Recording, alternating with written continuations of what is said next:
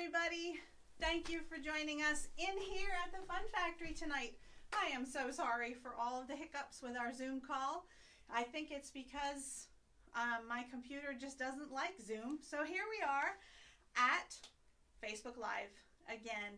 I want to welcome you to Kids Tuesday Night Bible Study. I am so super glad to be here with you tonight.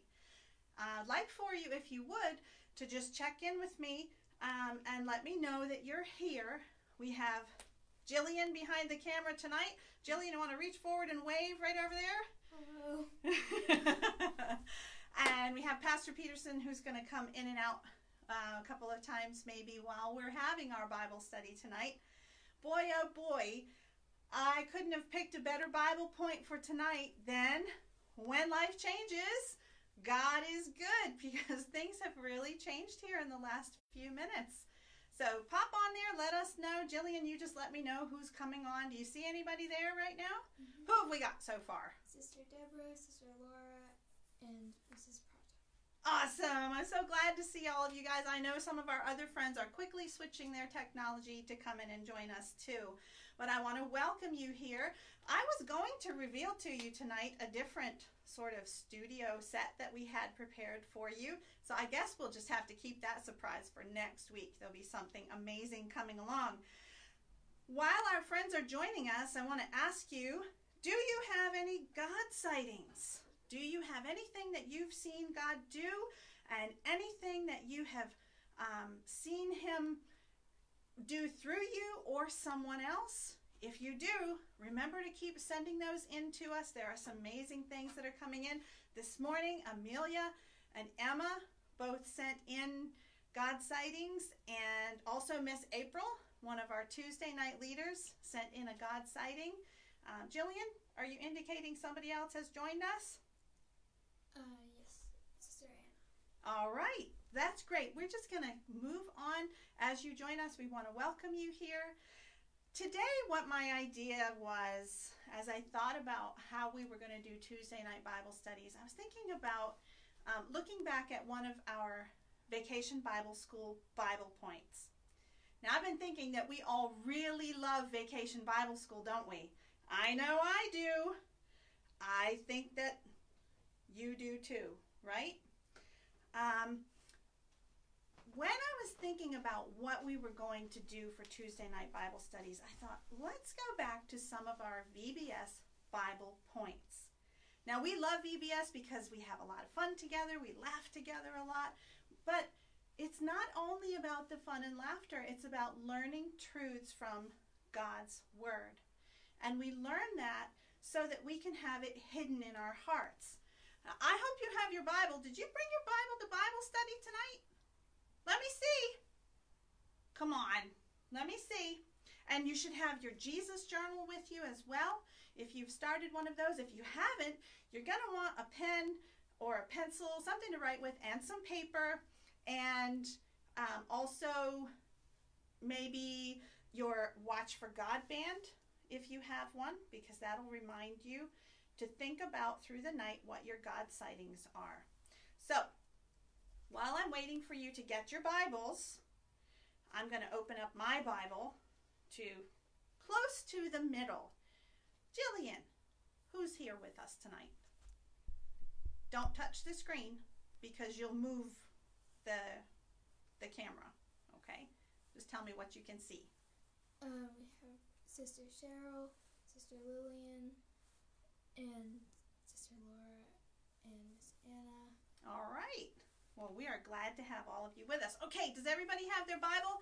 Would you open up to Jeremiah chapter 15 and verse 16? Now, again, like I told you on Sunday, I'm reading from the New Living Translation. Maybe if your Bible's a different translation, it will sound a little different, but it's still the truth of God's Word, just said with different words sometimes. Jeremiah chapter 15 and verse 16 says, When I discovered your words, I devoured them. That means I ate them up. Do you ever get really hungry? This afternoon, while I was studying for Bible study and doing some things, my daughter Jillian was baking a cake.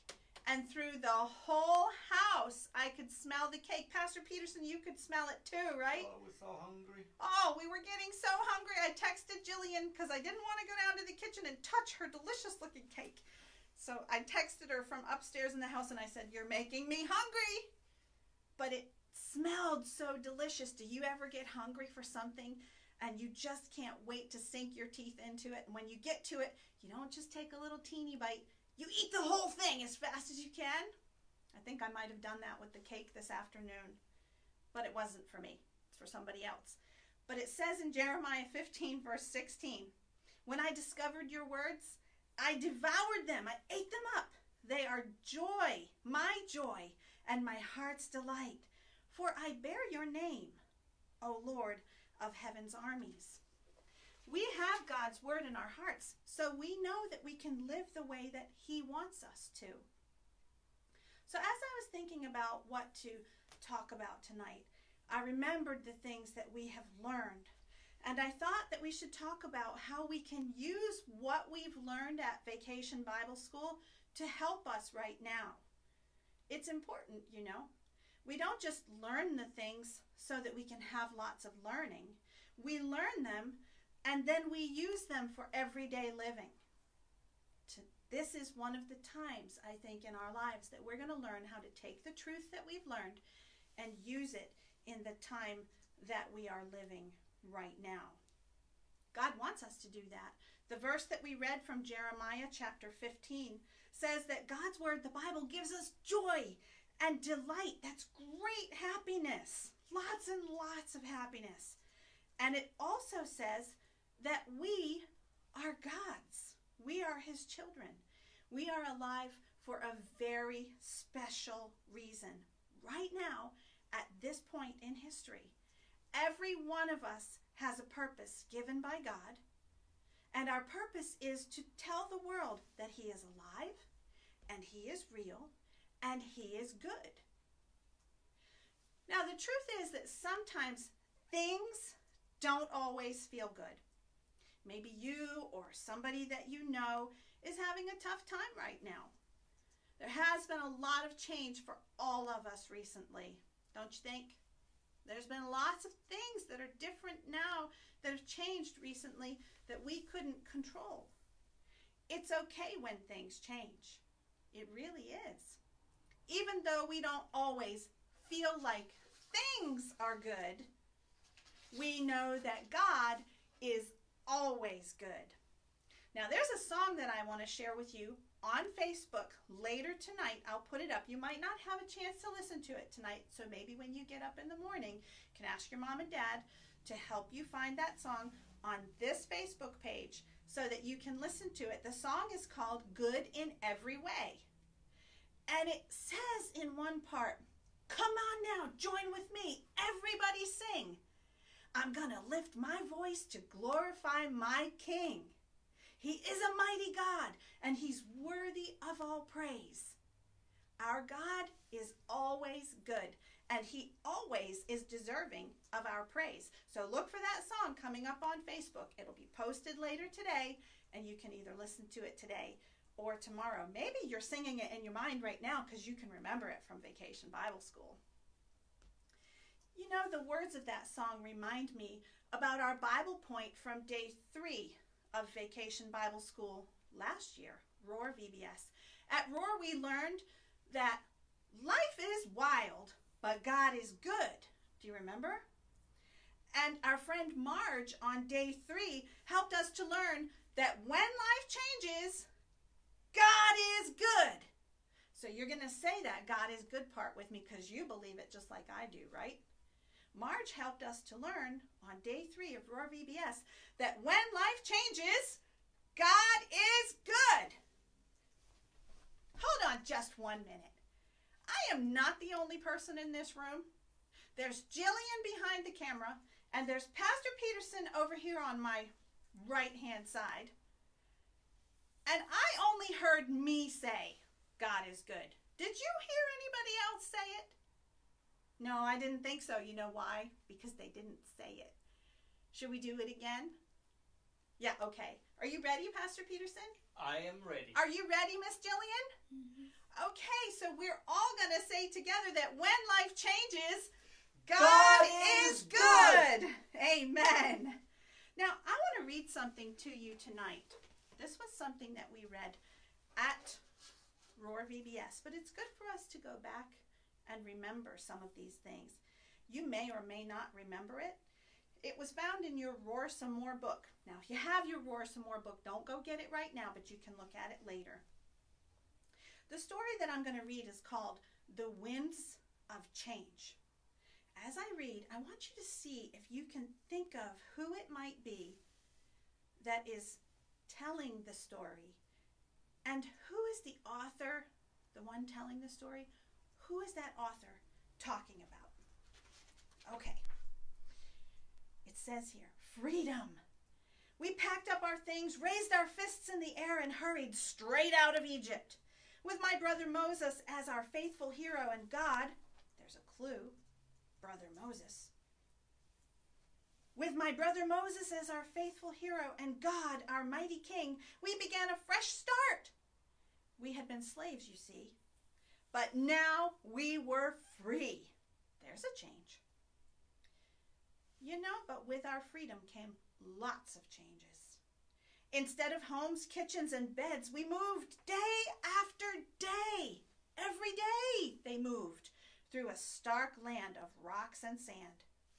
We couldn't help wondering if we'd made the right choice. We had barely escaped from Pharaoh when we found ourselves trapped. The massive Red Sea in front of us and Pharaoh's army right behind us. Yikes! But God rescued us yet again. Moses stretched out his hand, the winds roared, and the sea split in two. We raced across on dry land, and when we were safe on the other side, God filled the sea back up, swallowing Pharaoh's entire army. God is good. I picked up my tambourine, I started dancing, and I led the people in a song of victory. Now, on to the promised land. But the journey got tough. There wasn't much to eat or drink in that hot, dry wasteland. It didn't take long for our people to start complaining. They grumbled and mumbled and moaned to Moses. What are we going to drink? They whined. We traveled for three days, three days without finding any water. Can you imagine three days without any water? And when we came to the oasis at Marah, the water was too bitter to drink. These were not the changes we were hoping for. This is not how we wanted it to be. Yet, God was good. God told Moses to toss a piece of wood into the water, and it instantly became good and fresh. Finally, we had plenty to drink. We traveled on, and the complaining continued. We're going to starve out here in the wilderness. We should have stayed in Egypt. We had plenty of food there. But God showed his goodness. Every evening he sent quails for us to roast and eat, and every morning he covered the ground with a strange sort of bread. Do you remember what it was called? What is it? The people asked when they saw it. Moses told them it's bread from heaven. It tasted like honey wafers. Not too bad. What did the Israelites call it? Yes, they called it manna. So that's how we ate every day, says the author. At night, God delivered quails for us to eat, and every morning the manna appeared on the ground. We gathered just enough for our families to eat for one day, and we never went hungry again. God is so good. The actual story of these people that I have read to you about tonight is found in Exodus chapter 14 through chapter 17. So later on today, you can go look at that, or even tomorrow, if you have your Jesus journal or some paper that you can write on right now, you write today's date and that you're at Kids Bible Study, write down Exodus 14 through 17 so that you remember to go look at that later. Wow, the Israelites really went through so many changes. They definitely learned that when life changes, God is good. I want to tell you something. If you're going through a hard time right now because of all the change in your life, especially if it feels hard to you, please remember today's Bible story. God is with you. He will never leave you, and God is always good. Even when life changes, God is good. God heard and helped the Israelites even when they complained. He hears us even when we complain too. God will hear and help us every time. God has a really good plan for your life. Now, we looked in the book of Jeremiah a minute ago, and I want to look again in Jeremiah, but a little further along, to read a verse to you that says to you, it's not my words that say God has a good plan. It's the Bible, which is God's word. Can you turn over to Jeremiah chapter 29? And we're going to look at Jeremiah 29, verse 11. Are you ready? Let's read it together. For I know, this is God speaking, for I know the plans I have for you, says the Lord. They are plans for good and not for disaster, to give you a future and a hope. Those are God's words to you and to me. He is good to us all the time. He never leaves us. He will never walk away from us. He is always good. Even when life changes, God is good. Now, right now, you might feel a little bit like your life was going along fine. You were happy. You had everything that you needed. You were floating along with a smile on your face. Maybe like my friend here. Can you see my friend? Can you see my friend? Yes. Okay. So, you know, my friend is just floating here happy with a smile on her face. She looks very happy, right? Mm-hmm. She's not expecting anything to change. Just like maybe we were not expecting a couple of weeks ago for things to start changing for us. But all of a sudden, things start changing. Maybe they started changing for you and her at the same time. Can you imagine that this might be how you felt? Happy and floating along, and then things just started to change and change and change and change and change. And every time the word change came to her, she just wasn't so floaty anymore. She wasn't able to get back up and be like it had been before. Change, change, change. It knocked her down every time it came. Do you know what? Even though change came and knocked my balloon friend here down, she was only down a little bit. She is still able to float in the air now. Do you know how she's able to float and stay in place right now? I'll show you. She has a weight that she is tied to that helps her stand in place. This makes me think about where the Bible teaches us that our feet are, it says in the scripture, planted on the solid rock. That means that Jesus Christ, the solid rock, is a sure and safe place for us to stand. And Jesus never moves out of our lives, and we can stand secure even when change comes, and it might knock us down a little bit. It's not going to keep us down because we are secure on that solid rock, Jesus Christ. When things get hard and things get out of control that we think we can't control them, we can remember that God is still in control. When we don't understand what's going on, it's okay. Sometimes in life, things look a little darker than other times. Sometimes they don't look so easy to us. And maybe we're not sure what's going to happen because there's so much change.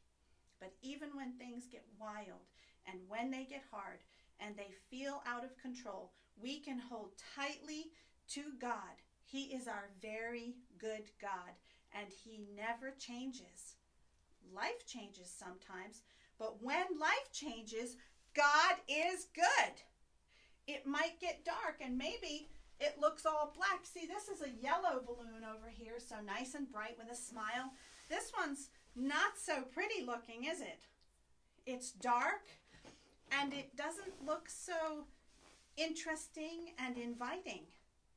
And maybe life has gone for us from being like this, that we're full of smiles, to like this, where all we can see is the change that maybe for some of us looks dark. But we can remember that when life changes, God is good and He brings joy into our lives. He is with us all the time. Do I have confetti all over me now? I wish you were here so you could have it all over you too. Because this can make us think of the goodness of God with us wherever we are, no matter what's going on. We're going to say goodbye in just a moment, but before we do, I would like to thank you for taking the time to come here tonight. Thank you for rolling with the change of we were going to meet by Zoom and that wasn't working, so we quickly switched to come over here to Facebook Live. It's always such a joy to be together with you so that we can learn together about God's plans for us. As we close tonight, I want to give you a little bit of a challenge. Take some time between now, around about 6:30, until 7 o'clock when Family Bible Study will start with Pastor Peterson. And I sure hope that you're going to be there for Bible study. It would be great to see you on the other side of the screen tonight. Take some time in these next few minutes to think about the things that God has done for you that are so good. It's easy right now to think of all of the things that are different in a bad way or in a different way that we don't like. But there are many good things that God has given to me and many good things that God has given to you, even in this time of change. God never leaves us, He's with us all the time. We should write down those things in our Jesus journals that we remember God has done for us. And then maybe, like I encouraged us to do on Sunday, if we get worried or we get overcome with how much is changing. We can turn those sad and not good feelings into a choice to praise God.